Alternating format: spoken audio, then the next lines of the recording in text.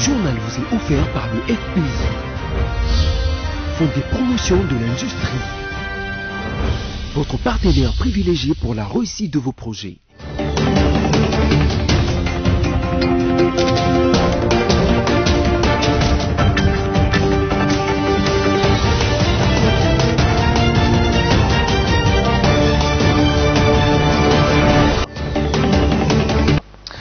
Avez bien fait de nous choisir pour vous informer, mesdames et messieurs.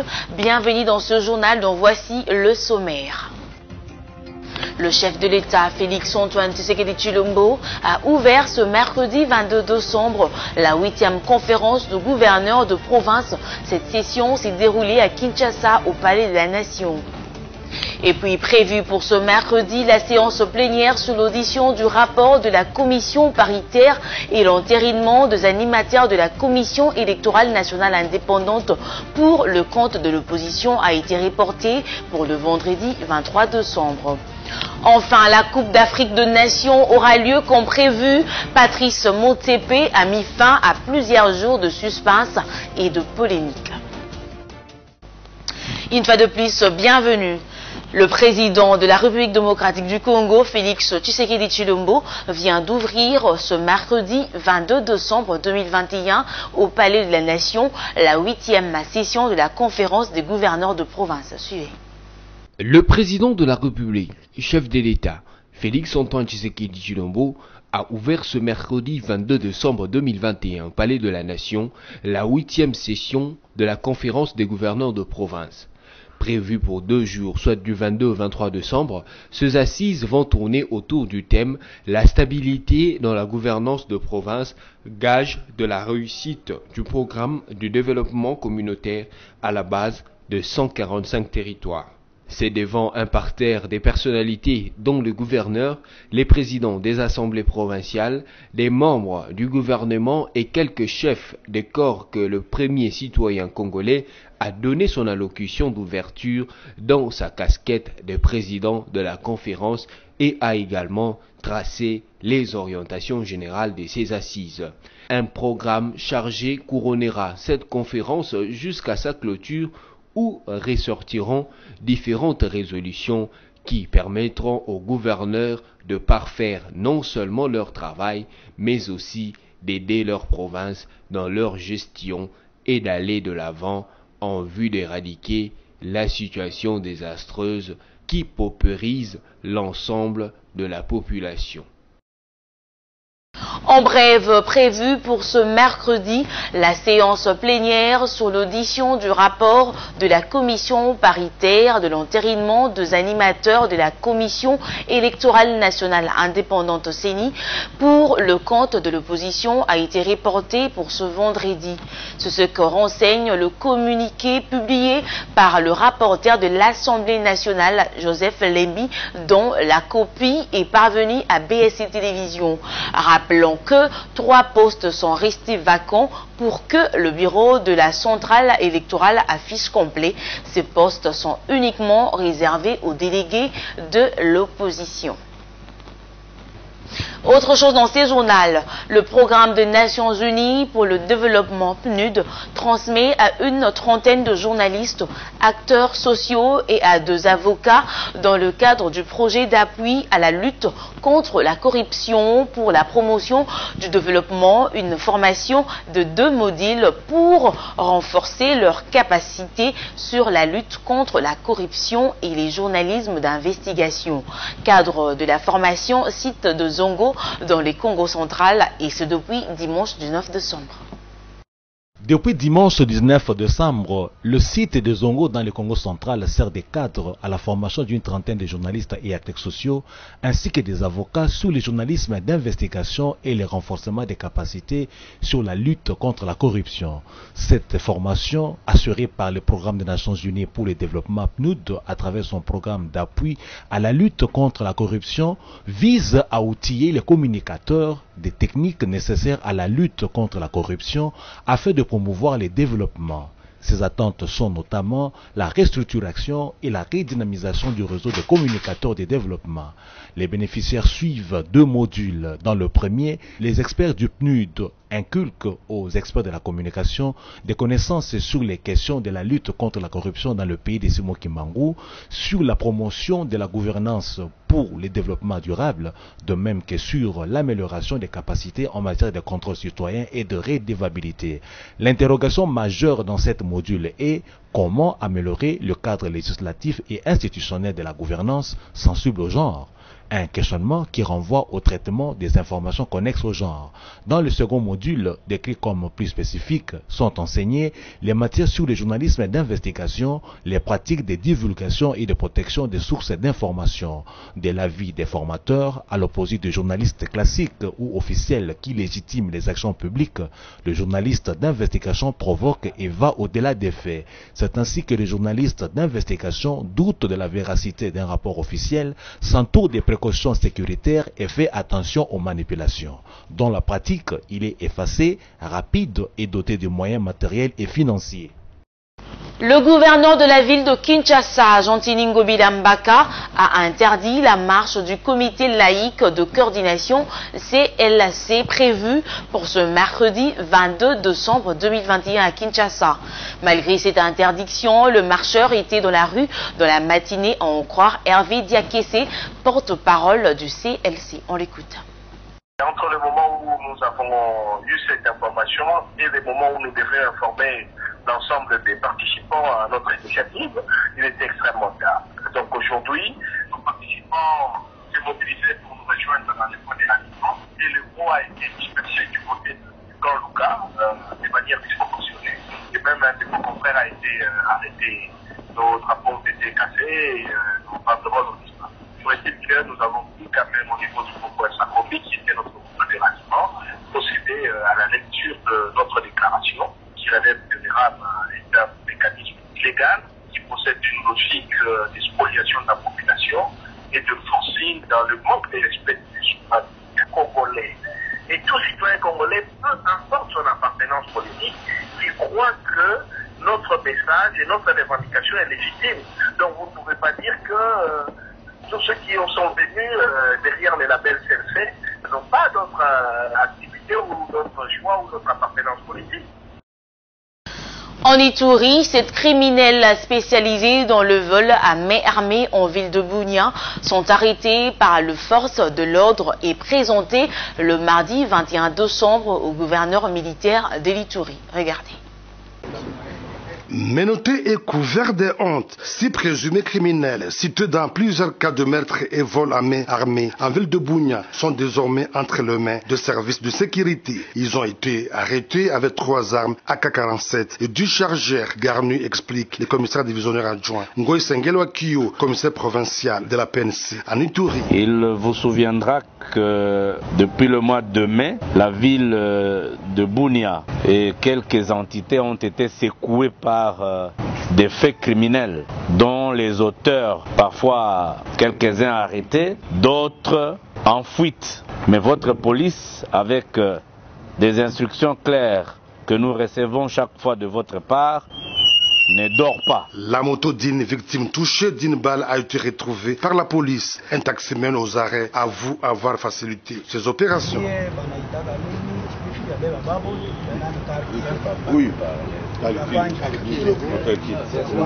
Le septième présumé criminel, il s'agit d'un policier déserteur qui a rejoint la milice Codeco et ayant planifié la récente attaque dans la commune rurale de Mungwalu, a dit Ngoy Kiyo. Le commandant des opérations qui a conduit l'attaque de Mungwalo, il est à la fois avec nous et à la fois avec Codeco. Il n'est pas seul, deux de ses collègues sont en fuite, mais ils seront récupérés. Cette série d'arrestations témoigne la détermination de l'équipe de l'état de siège de mettre fin à la criminalité ribaine, a dit le gouverneur militaire, le lieutenant général Luboyanka Shomadjouni. Nous allons continuer à les poursuivre, ces gens qui créent vraiment le malheur dans nos populations. Par ailleurs, deux jeeps des Ougandais, volés puis récupérés à République démocratique du Congo par la police, ont été restitués à Aro, au nord de Bounia, et au fait d'armes de police. Vous l'avez suivi au sommaire, mesdames et messieurs, face aux pressions de la Confédération africaine de football CAF a donc tenu bon. En milieu d'après-midi, le mardi 21 décembre, son patron Patrice Motsepe a mis fin à plusieurs jours de suspense et polémique. La Coupe d'Afrique de Nations aura bien lieu comme prévu. Le sélection africaine en rendez-vous du 9 janvier au 6 février 2022. On l'écoute. Nous avons parlé d'infrastructures, des installations et du très bon travail qui a été fait pour s'assurer que nous pourrons accueillir une canne qui rendra le peuple du Cameroun fier, qui rendra le peuple d'Afrique fier. Nous serons tous présents au Cameroun dans quelques semaines. Je suis si fier du travail effectué, on peut se rendre compte de l'ampleur des engagements pris pour que le problème évoqué ces derniers jours soit réglé. Trésor Poutou est dans le lot de huit joueurs issus du tout-puissant Mazembe que le sélectionneur national Hector Cooper a choisi pour le stage en Égypte. La précision a été donnée mardi 21 décembre par le manager et secrétaire de Corbeau Louchois, Frédéric Kitenge. L'inusable milieu offensif des Léopards et du tout-puissant Mazembe Trésor Poutou est parmi les 26 athlètes évoluant en RDC et en Afrique qui sont sélectionnés pour le stage des Léopards Football Monsieur Senior en Égypte. Alors que l'on attend la publication officielle de cette liste du sélectionneur national Hector Cooper, Frédéric Kitenge, manager et secrétaire de Corbeau Choix, a, à travers un petit communiqué publié mardi 21 décembre sur son compte Twitter et dans plusieurs forums de sportifs, vendu cette mèche. Frédéric Kitenge a écrit, nous citons, Huit joueurs du tout-puissant Mazembe sont convoqués pour le stage de l'équipe nationale en Égypte. Notons le retour des Trésors Poutou en sélection. Fin des citations. Longtemps resté son temps des jeux, l'emblématique numéro 8 du club le plus titré de l'Afrique noire n'a eu besoin que de 100 minutes de jeu depuis le début de la phase allée de la 27e édition de la Vodacom Ligue 1 pour taper à l'œil du patron du staff technique national. En effet, les prestations lors des deux derniers matchs de Tozron Poutou avec le tout-puissant Mazembe ont persuadé le sélectionneur national. Face au FC Lupopo et à l'étoile du Kivu, le protagoniste a été l'auteur de deux passes décisives qui ont permis au tout-puissant Mazembe d'avoir les dessus sur ses adversaires.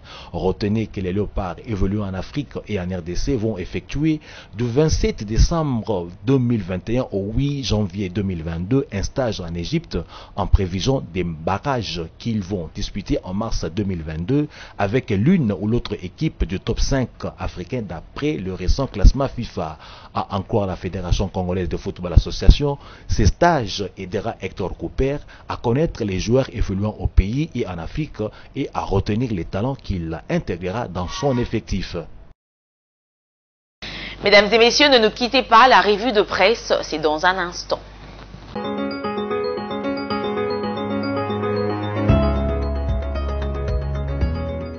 Bonjour.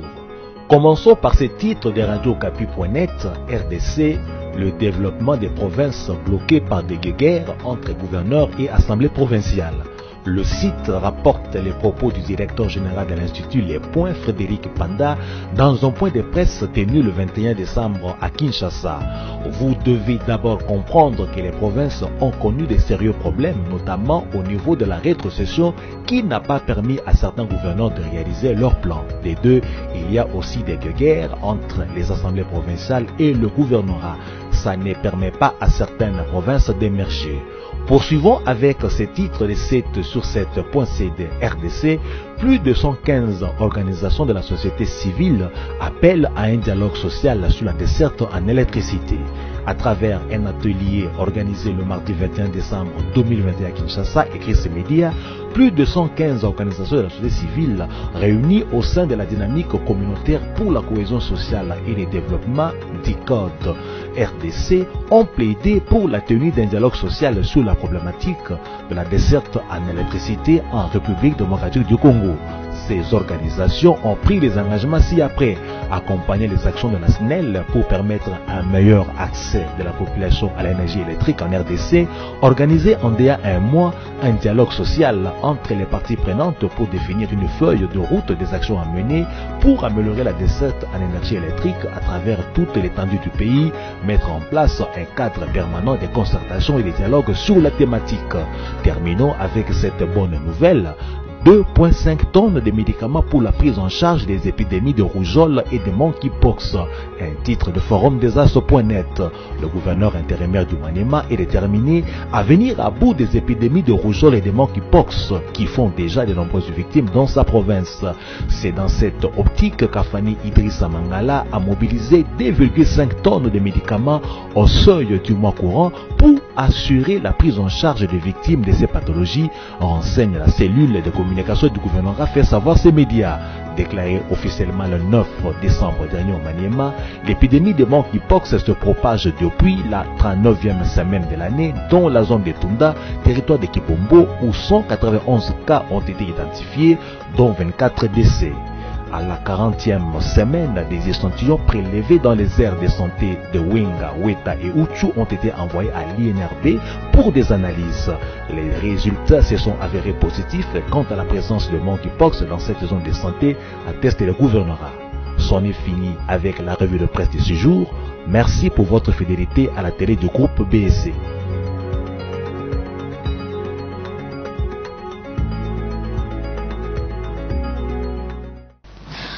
Voilà, c'était là la revue de presse rendue par Samy Bossongo. Si vous nous avez pris en cours des diffusions, voici le rappel de principaux titres. Le chef de l'État, Félix-Antoine Tshisekedi Chilombo, a ouvert ce mercredi 22 décembre la huitième conférence de gouverneurs de province. Cette session s'est déroulée à Kinshasa, au Palais de la Nation. Et puis prévu pour ce mercredi la séance plénière sur l'audition du rapport de la commission paritaire et l'entérinement des animateurs de la commission électorale nationale indépendante pour le compte de l'opposition a été reportée pour le vendredi 23 décembre. Enfin, la Coupe d'Afrique de Nations aura lieu comme prévu. Patrice Motsepe a mis fin à plusieurs jours de suspense et de polémique. Ce journal est complètement terminé. Merci de l'avoir suivi et bonne suite au programme de BSC Télévision. Au revoir.